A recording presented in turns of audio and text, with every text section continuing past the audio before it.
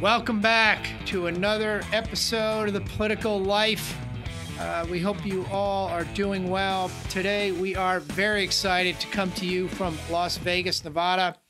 Unfortunately, I am not in Las Vegas, but our guest is, uh, I think, uh, he's from Las Vegas. I think he's in Las Vegas. He's shaking his head yes. Um, and uh, he is a independent investigative reporter um, and I recently saw a uh, article that he did.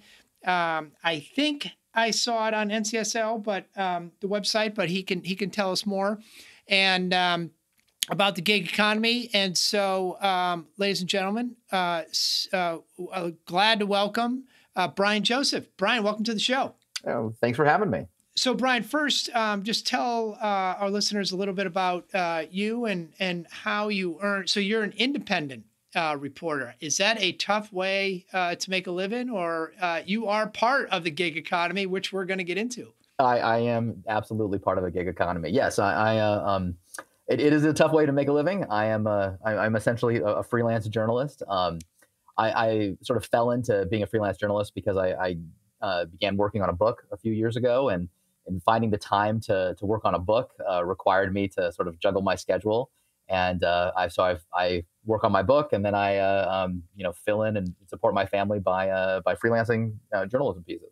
And then, how many pieces uh, will you put out, say, in a, a week or a month or something? It really it depends on how busy I am with the book. It depends on you know w- what assignments I'm able to snag that are coming my way. It could be anywhere from you know, you know three or four to, to one. It just really really depends on the uh, you know the the day or the week.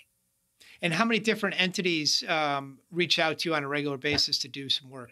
Man, that that that also really uh, really varies a, a, lot. I have two um, two niche publications that I uh, um, I work for pretty consistently. Uh, beyond that, it's it's sort of catch as catch can. Okay, and do they pay you per article or per assignment? Yes, per per article for the most part. Okay. Um, wow. Well, that's um, uh, that is you are um, you are definitely part um, of the gig economy. And did I see um, where did I see your article? State lawmakers taking more interest in portable benefits for gig economy workers. Well, I think you did probably see it on uh, on the NCSL page. Uh, it was originally published uh, for one of the, the main organizations that I uh, one of the main niche publications that I write for, uh, uh, StateNet Capitol Journal, which is a, a publication of LexisNexis. Uh, they have a, a, a, content sharing agreement with uh, NCSL. Okay, great, sure. Um, so, um, eh, um, so about um, uh, and f- well, first of all, let's get uh, let's talk about you a little bit more. Um, what is your book about? Uh, that's a good question. Can't can't say too much about it. It's a true crime uh, nonfiction book about a, a marginalized community. Okay. And when do you hope to have it completed by? Uh, that should be coming out uh, next year. Wow. Okay. Um, great. Uh, well, when the book comes out, can we can include us on your book tour, Brian? I, I want... certainly will. I certainly will. My publisher will be happy to hear that. All right.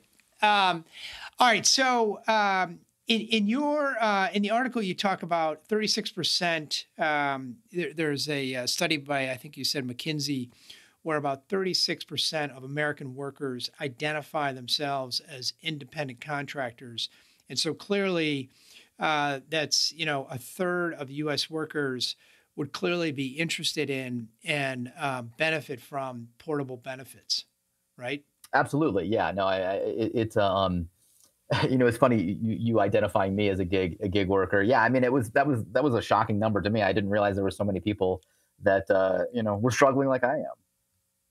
Yeah, and so where um, um, so so it's it's uh, currently um, in about eight or nine states. They have passed legislations uh, legislation uh, in regards to board, portable benefits. What does that legislation do? Well, I'm not. I'm not aware that that, that it's been passed anywhere. I, am I'm, I'm aware that it's been looked at. I, I don't. I don't believe that. Okay, so if they pass, So in in like state of California, where they I think they had a ballot measure, which I think has been challenged in court. But yeah, and, and, and, has been, and has been ruled uh, unconstitutional. I think the thing's gone. Yeah. Okay, and so in California, there's been uh, no progress made in that regard. That's correct. Yes. And what did the constitutional amendment, if it was ruled constitutional, what would it have done? Uh, it, it, as I understand it, I mean, you know, the difficulty whenever you're talking about, you know, legislation, statewide legislation on, you know, on a national level, you know, there's only so deep you can get into each each uh, piece of legislation. But as I understand it, it would have authorized gig economy companies to offer app-based drivers some limited benefits like accidents insurance, that sort of thing. But the uh, but back in uh in August of 21, a California judge ruled portions of the initiative unconstitutional, and then the whole measure is, is thus un, unenforceable.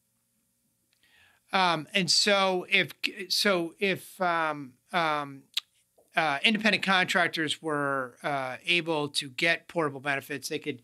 They, it's an easier way for them to change jobs. They don't have to stay stuck in one job. They're in the ideal world. Their their health care would be you know quote portable and and other types things is that correct a- absolutely i mean i you know the, the gig economy has as a um, has really uh, brought to the forefront an issue that we've seen for a long time in well, in workers, and that's the concept of job lock, where you know you can't leave a job because you, you're you're sort of stuck to the benefits. Well, I mean, the gig economy with with no benefits attached to them, you know, traditionally has really uh, um, you know th- thrown up this uh, or, or, sort of blown up this idea of, of job lock.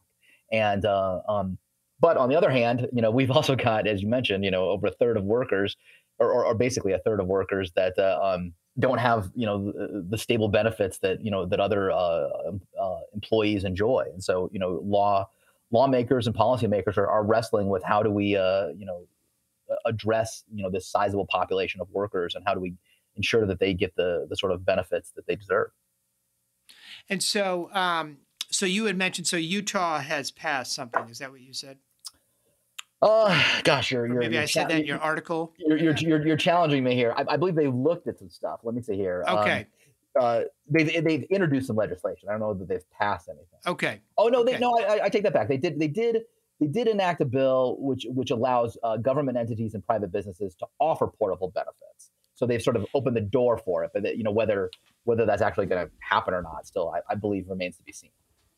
And can you just give us an example of, again, how, let's say I'm driving for um, Uber and I'm living in Utah. Um, so, how would uh, portable benefits um, just, you know, how would it basically work? What's the idea behind it?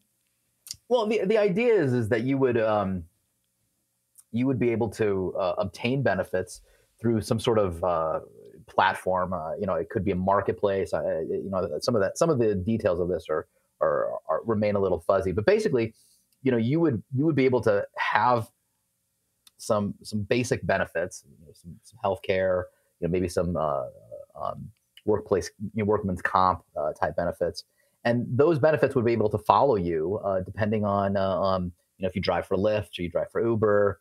You know, maybe you you go to you know go to DoorDash or something like that. You know, those are those benefits would follow you while you move amongst the uh, the various gigs in the gig economy. And is the are the employers participating um, in this platform? Is that um, uh, so? There's different models. There's different models of all of this. I, I believe, uh, um, you know, again, it's hard to hard to know exactly how. Uh, um, regarding the Utah legislation, it it allows government entities and private businesses to offer portable benefits. So in that case, they would be involved in it. Now there are other models where maybe the employers wouldn't be involved in it. It really you know, one of the um, the difficulties around this issue is that there isn't a lot of uh, um, uh, consensus about how this should be handled at this point. So there's there's still a lot of uh, um, sort of uh, uh, up in the air discussions about you know what's the best policy, what's the best way to handle this, and and in fact. Uh, I believe it was NCSL, um, you know, has, has, put out some, some, general guidelines about how this should be handled because people are looking for a, a direction on how to address portable benefits. Yeah, and then and it you know and there's obviously the issue of um, who's paying for it and how it's being paid and um, uh, and all that. So um, and what um, um, so where um, has there been any opposition to it when it begins? I mean, I know in California, I can't remember the groups fighting it. Post portable benefits? Well, I mean, of course, there's going to be opposition. I mean, whenever you're talking about a, you know a radical change to you know a a, a, a system that we have uh, in in business and in government, uh, you know, there there are definitely entrenched interests that don't want to see things change. So yes, right. I mean, obviously there are going to definitely be you know some opposition to it. But, however, given the fact that there's you know we've just seen this explosion in, in the gig economy, uh, and and in you know people you know sort of self-labeling as independent contractors. Um, you know, while there is opposition, I mean, I think there's growing momentum for uh, you know for something like this to happen, uh, just because there's so many workers that are impacted by it. Well, and you would think it's got to be great for the economy if if people can move jobs and and not worry about benefits. Um, I think you you can make the argument people are going to be taking a lot more risk and um, a lot more entrepreneurial spirit. Um, you know, uh, trying different things. Uh, I'm sure what keeps people locked in jobs is benefits, healthcare, security. It, it, it absolutely does. I mean, I, I, it would be a game changer for me. I mean, it was it's been very difficult uh, working as a as an independent contractor myself. Uh, you know, to get to get uh, um, you know benefits for my my my wife and daughter, and and it's uh, it's been it's been challenging. So yeah, I mean, if I I, I personally, you know, selfishly would love to see this sort yeah. of thing happen. Um, yeah. But but you know, it, uh, you know, all that remains to be seen. Yeah, well, you are part of the uh, the new economy. What? Um, well, it was a very uh, very interesting article. I would encourage people to go to NCSL uh, to the website, their news section, and you can check it out. I'm pulling it up right now and uh, looking at a nice graph of the United States. Uh, and uh, see Washington, California, Utah, Alabama, Georgia, New York, Massachusetts, New Jersey, Connecticut. So yeah, lots going on. Um, and then um, uh, Brian, what else? Uh, what else have you? Uh, what else are you working on now as far as articles, not your book? I, have got a I've got a bunch of stuff uh, in yeah. the hopper. I, I do some uh, do some writing um, for another publication uh, out in in Sacramento, California, about the state capital out there. Got a got a, a piece I'm working on about um, uh, tribal governments and their uh, disconnect uh, with uh, the rest of uh, California and how they're not getting uh, the access to you know, basic government databases, you know, like public health or, or public safety issues. Um, so I'm finishing that up. got a few few other things that are still still to be determined that I'm sort of p- picking away at. But yeah, I've always I've always got you know two or three or four different things I'm working on. I, am probably going to be getting a little bit more into writing about um, the casino industry just because I'm in Vegas and, and, there's a there's a lot of uh, opportunities in that regard for, for freelancing. So I'll probably probably be doing a little bit more about that as well. And how long have you been freelancing? Uh, about four years now. And would you recommend it? Absolutely not. there was no hesitation in that. No, no, it's it's it's, it's, nice it's, a, have, it's a challenging. It'd be nice to have a steady gig. Yeah, yeah. Uh, well, yeah. I mean, I, I, mean, you know, I, I, I, you know, circumstances put me in the situation where I'm, uh, um, like I said, I'm working on a book, and and that's, you know, you got to do what you got to do to make things happen. Um, but yeah, I mean, it's yeah. it can be very, uh, it can be very stressful, and uh, um, you know, I, uh, uh it, it, you know, the uncertainty of, of, of, this lifestyle definitely inflames my uh, my anxieties from time to time.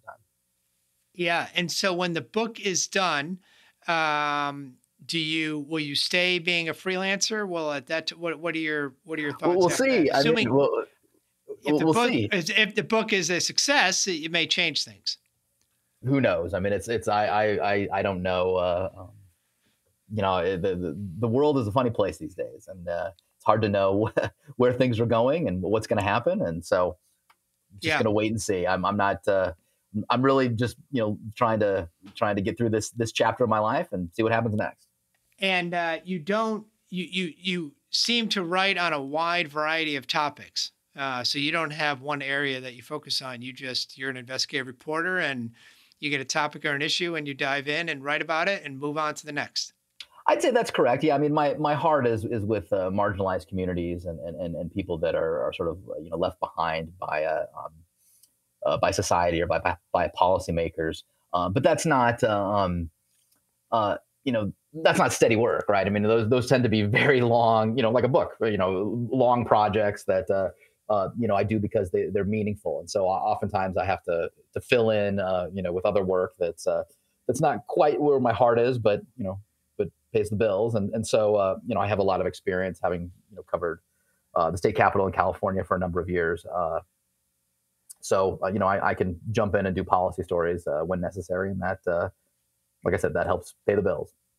And were you based in Sacramento, or did you do? I was, yeah, I was. I was based in Sacramento for for about nine years. I was the uh, Sacramento bureau chief for the Orange County Register for for quite a while. Oh wow, wow, yeah. But uh, that that must have been a uh, uh, that's a big job. That must have been a uh, interesting uh, um, uh, experience doing that for uh, almost ten years. It was it was quite interesting. Spent a lot of time with Arnold Schwarzenegger when he was the governor. It was uh, it was a very you know very surreal experience. Did you ever spend any time in his smoking tent? I did not spend time in a smoking tent, but I, I did. Uh, I did receive a, a, couple of the cigars that you know were hand rolled for Governor Schwarzenegger. That's great. And do you? Uh, uh, and what sent you from Sacramento to Las Vegas? I had an opportunity to do some work out here, and then that would that's what brought us out here. All right. Uh, well, Brian, it's been great having you on. Uh, again, uh, encourage people to check out the article at NCSL's website. Uh, and you'll have to reach back out when your uh, book comes back out. And for our listeners out there, remember you can follow us on Twitter, Facebook, and Instagram, and sign up for our email at politicallife.net. And uh, Brian, good luck with the book, and we will see you soon. I appreciate it. Thanks for having me. All right, great having you.